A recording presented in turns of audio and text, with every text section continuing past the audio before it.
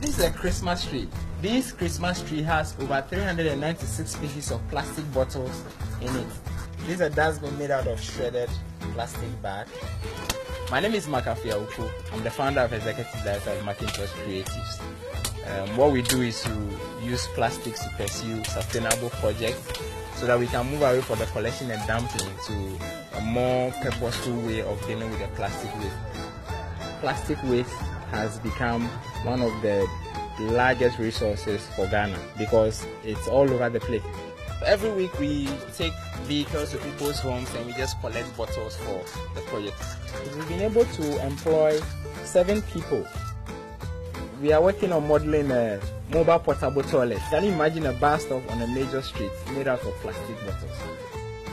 We are not just creating products to sell, we are trying to provoke young Africans to look for solutions and how they can use plastic waste to fix this problem.